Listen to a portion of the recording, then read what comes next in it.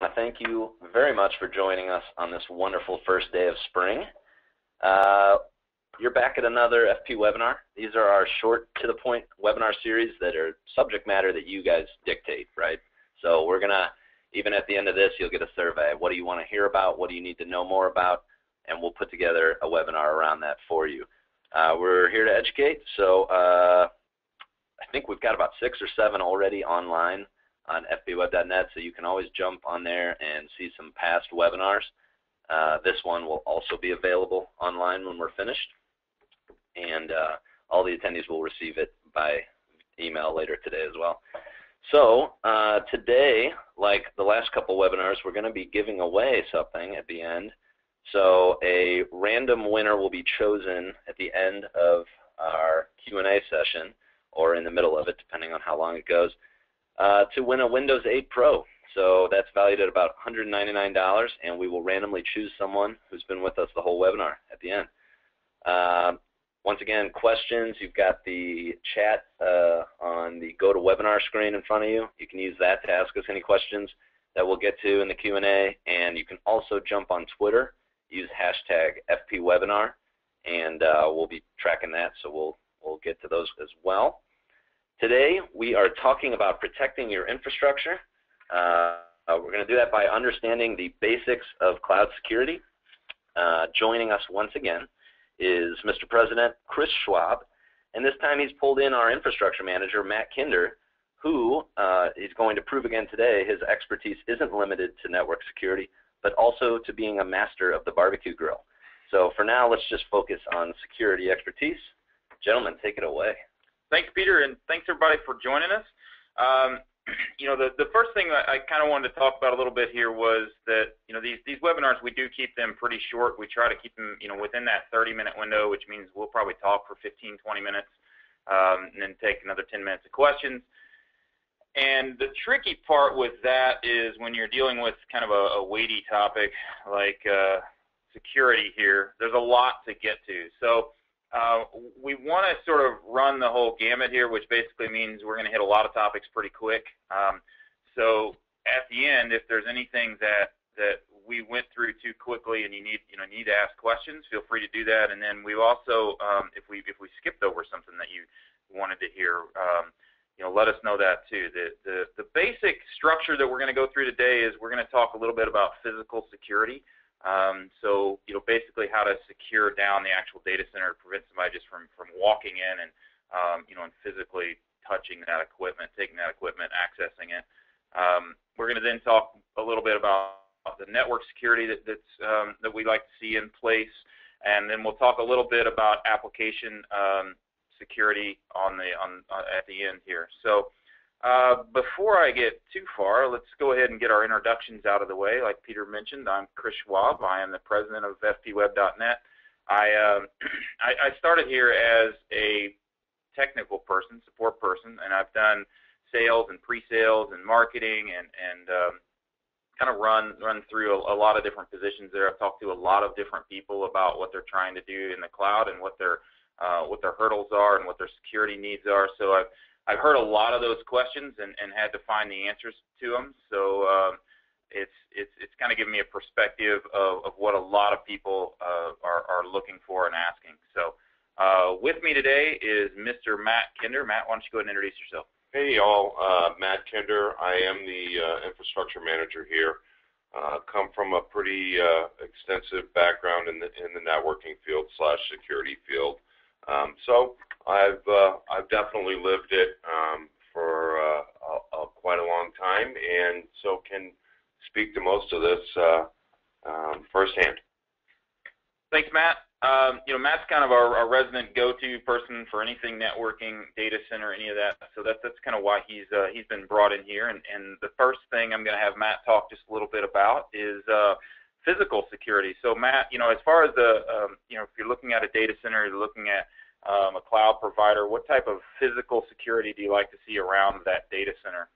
Yeah, and, and again, like Chris mentioned, these are pretty broad topics, um, and we're, and we're going to go through these pretty quick. But uh, some of the highlights: um, physical security. It, it's it's one of the uh, important aspects of, of, of network security slash securing your assets in uh, in a data center or a cloud environment. Um, and it, it, it, really can go unnoticed and, and maybe should go unnoticed uh, a lot of times, uh, starting from when you, you're pulling your car into the, a parking lot of a facility that you uh, may house some equipment in, um, whether that be a gated, uh, fenced area for uh, parking security, um, all the way we see some of the federal buildings that have gigantic iron pipes that pop up out of the uh, driveway um, if the panic buttons hit. Um,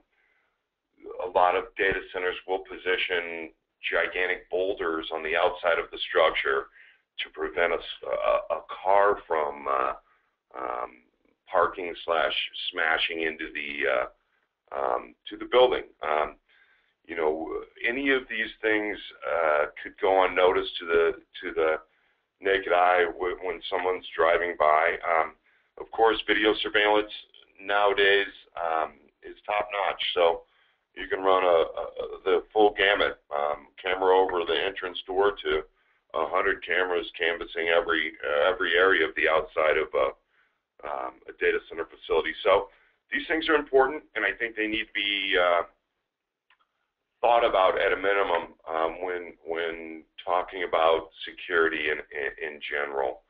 Um, so once we're in the parking lot or, or towards the building uh, that that we're talking uh, about, there are many different ways to uh, to get into a facility depending on um, how the the processes and all of the, uh, the, the rules and standards are followed. Um, many facilities have uh, have trap doors, so you'll you'll walk through one set of doors, um, be kind of trapped in a hallway until uh, everything is cleared. Then a second set of doors is opened. Um, if anything is uh, awry there, um, you could find yourself, or someone could find themselves locked in uh, um, the entranceway. So small things like this may go unnoticed, but uh, you know, but are important. Um, moving towards the the data center, you can experience a, a, again a wide variety of of uh, options to secure an asset um, from a, a, a, private data center which no one has access to but you.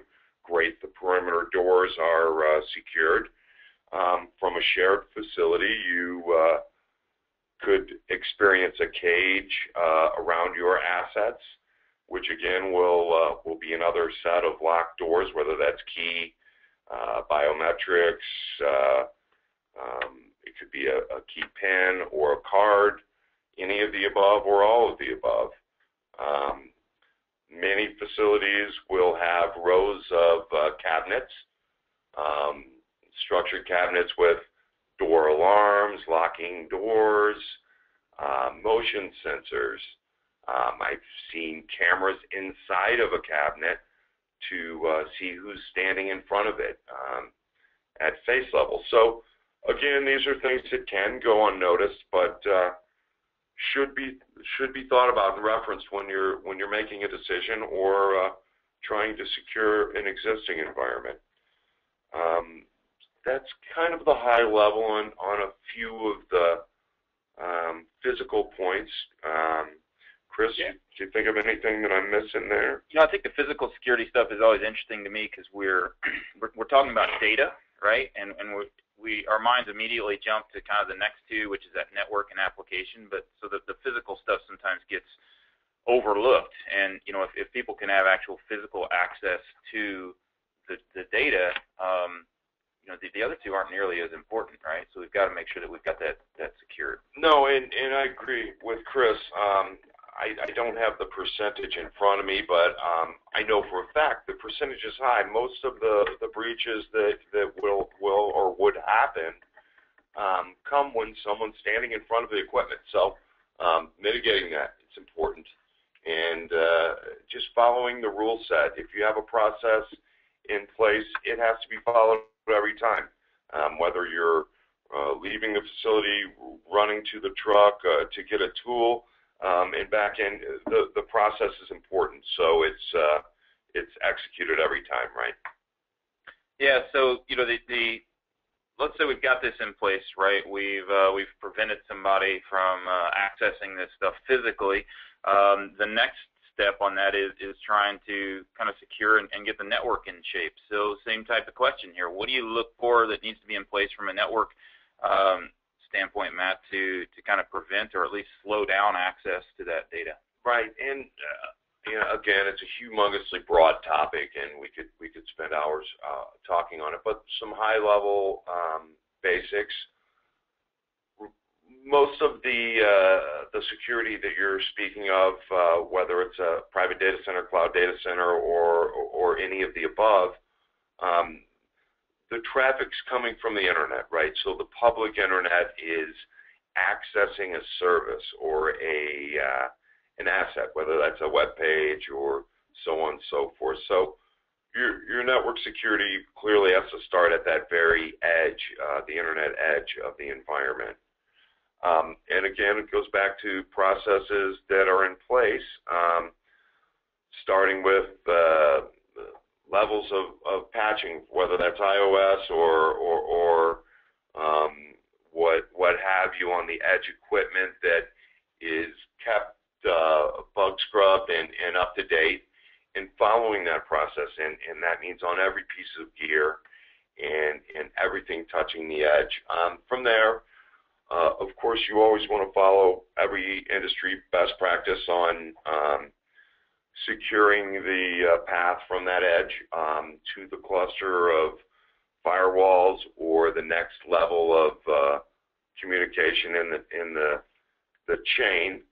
Um, I, I think that you know again the process for rule sets um, is some, something we can touch on briefly. Um, the, the rule sets need to involve all parties so you can document, follow the process, and, and not allowing any traffic uh, that is unneeded um, or unwanted, right? So, um, again, it's a broad uh, topic, but having a finite rule set for exactly the services um, you need at that second uh, layer um, is very important. Um, so the the firewall slash IDS, IPS, um, any of that layer of the infrastructure in in the path getting to your assets um, needs to have the same process followed.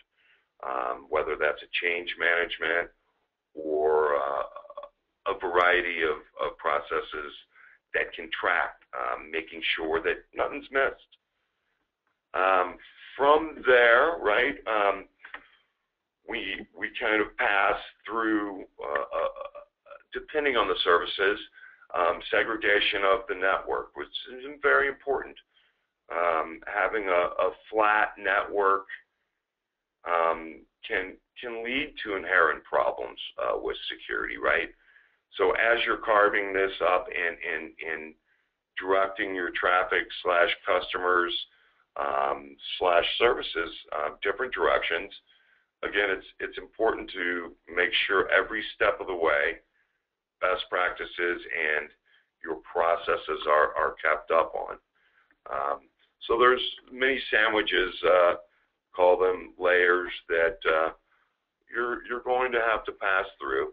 You're going to have to maintain, or someone will have to maintain, and uh, keeping track of that is a job in itself. So some of the high level um, to get to your assets, right? Um, and one interesting thing I always kind of go to when we talk about the network stuff is the um, the, the, the logging portion of this, right? Because there's just so much data going through these devices, and that logging can be really important, but it's also very um, kind of difficult and, and cumbersome to hold on to. So what do you look for and what do you do as far as uh, you know network logging on those devices? Right, and again, a hugely broad topic. Um, every packet that's coming um, from that that edge I referred to earlier, inbound to an environment, no matter what the environment is, um, you're, you're, you have the ability to log at every step of the way. Um, you'll you'll want, in my opinion, to log every packet inbound um, and outbound for that matter, and um, the the amount of raw data that that you can um, accumulate is is massive. So there again are a variety of ways to skin that cat. Um, I, I would definitely suggest a, a 24-hour window for uh, live logging. Um, that's from firewalls, from routing equipment, from all of your layer 3 equipment, IPS, IDS, um, through all of the different strains and layers that your uh, data is going to pass through. And again, the, the logging is, is a job in its own, and there's teams dedicated for it. Um, and, and it takes some uh, some babysitting and, and uh, attention um, and nurturing. So it's important. Uh, you can keep it for three years or three hours. Most of the breaches or incidents that you will see are going to be found within 12, 24 hours. So um, as a general rule, 24 hours of, of real-time data, uh, you'll usually have uh, what you're looking for in that 24 hours, right? Yeah, and you know, 24 hours it might not sound like a lot if we're talking about you know Windows and, and digging through event viewer logs, but that's a ton of data um, to try to save, uh, you know, for a, for a provider or even a personal, um, you know, kind of private data center. When we when we're talking about kind of the network security and we transition into the application security, that line it gets a little blurry sometimes because now the applications sort of have to interact with the network um, side of things, and a lot of times you're talking to two different teams. Um, you know between the network team and an application team and, and when you when you start sort of transitioning into that application layer security um, you're, you're going to kind of need access to, to both of those teams. And the first one that, that comes up a lot are, are ports. You know what ports do we actually have open on those um, for those applications? Generally what we'll have is um, you know specific reasons for for keeping specific ports open. We'll close down everything else just to reduce that surface area uh, reduce the amount of stuff that we have to actually watch.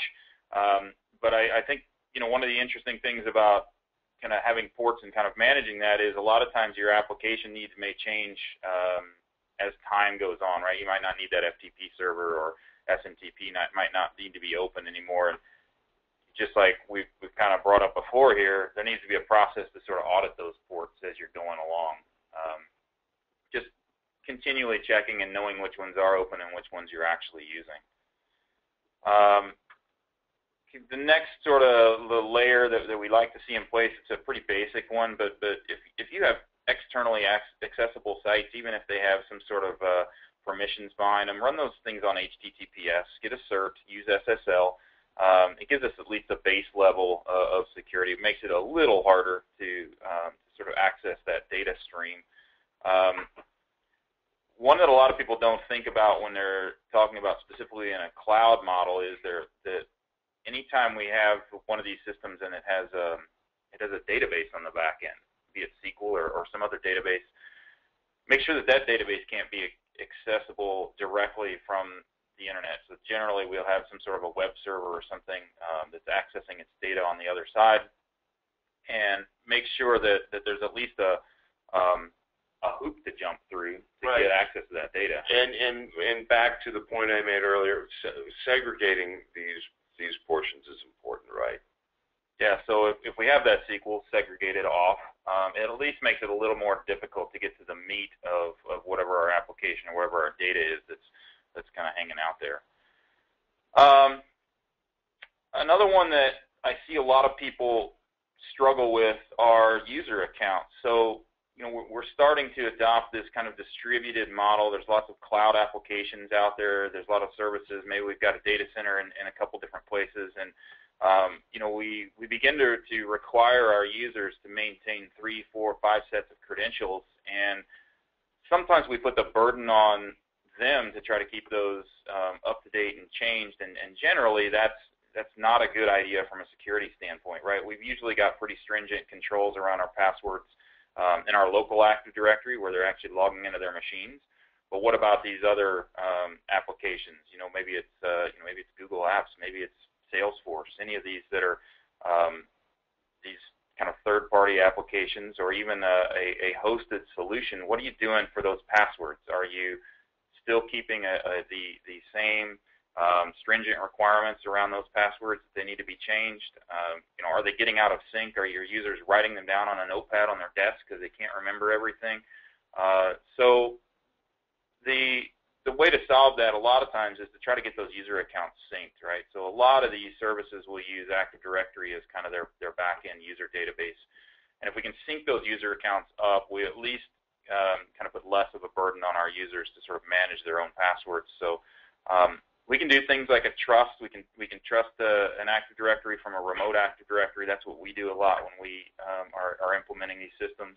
Uh, the nice thing about that is it's not a copy of the user accounts. It's actually referring to that original um, user account database for uh, for authentication.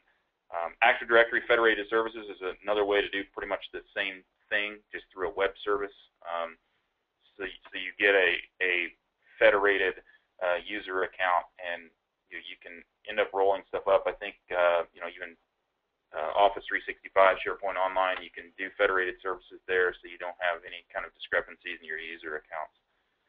Um, and then really the, the, the last one, and it's, it's a pretty basic one, but a lot of times when we start talking about remote servers, we lose sight of making sure that we have some sort of software on those servers to make sure that uh, we are we're scanning for viruses, malware, things like that, because kind of that out of sight, out of mind. If it's not in if it's not in your data center and it's somewhere else, you assume that um, it's fine and it's not been breached. But if we a lot of times we're actually accessing those servers uh, less frequent, so any hint of something getting on them would be um, tougher to find. So make sure that you have something that's scanning and monitoring and alerting you that there may be something questionable that's that's on those servers.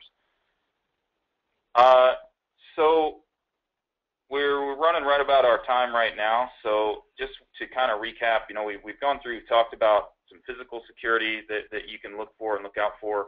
Um, network security, we've talked about application security and, and how sort of the, the line blurred the, um, between that and, and, the network side of this. Um, one important theme here, though, is to have a process for auditing this and making sure that this stuff stays in place and audit that process uh, on some sort of reoccurring basis. Um, and then ask questions, right? That's kind of the that's that's kind of the overall goal of this is we need to learn just enough that we know what questions to ask and what information to go actually research and, and seek out ourselves. And Peter, I think we have a few people that have sent us in some questions here uh, in regards to this as well. Yeah, we sure do. And uh, yeah, again, we're going to hit the Q&A side now. So if you have any questions, feel free to send those in.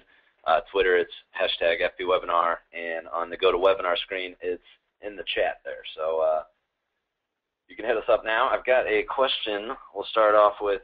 It's asked, for a high security setup, what network devices need to be set up in front of the servers? I'm giving that one to Matt here. Yeah. So, uh, you know, it, it, again, it's a pretty pretty broad question, but um, anything that would be considered high security, in my opinion, um, should traverse several layers of security, clusters of firewalls, and, and protection systems on both sides, almost like a sandwich. Um, so we're, we're really truly protecting what source and what destination on XYZ TCP UDP port um, is needed slash logged slash allowed or denied. Um, so the, the key is really um, starting at the outside and, and having several layers uh, that need to be traversed um, to avoid uh, any any misrepresentation of a uh, packet. Um, you're you're really truly having to hop through a, a couple different hoops to make it to your destination, right? Right. Uh, got a question from Roger. He asks, how do you prevent cross-site scripting and SQL injection attacks against a web application? So, uh, in, in, my opinion, um, you know, preventing is a, is a pretty solid word, right? Um, what your your goal is is to identify. Um, at, at, the point where you identify, you can stop anything. Because you truly have the, the, the source or, or destination. And um, many of the appliances slash services that are out there now um, are are very very good at patterning, and and as a pattern arises and and is um, identified, that's the key to success on a lot of this uh, um, application security, um, all the way up through any of the the OSI levels. So um, identifying that with software slash hardware appliances um, and, and actually seeing that, that pattern um, before it's detrimental uh, is, is the key. And um, like anything, there are some very advanced technologies out there, and it's an ongoing battle back and forth um, between protecting and, and breaching. So hopefully that uh, gives you a, a, a, brief answer on that. And when we talk about preventing too, um, you know, one, one way to prevent this is to make, you know, your target just hard enough that they want to hit something that's a little easier, right? So if we can put some of this stuff in place and we can put enough speed bumps in, um, in place to make it just difficult enough um, to not make you a uh, an easy target, uh, you know, that's kind of that. That's kind of the first step in my mind. Agreed. Agreed. And moving from preventing to protecting, Stan's asking, can you protect unstructured data? I mean, yes, you can protect everything because a data stream is, is always going to have a source and a, and a destination. Um, this is basic lay, uh, layer three stuff, and that's where the meat and potatoes really, in my opinion, lay. And, and above layer three, all the way through the model, again, there are very custom uh, uh, attacks and very custom defense on on every one of those upper layers of the of the OSI.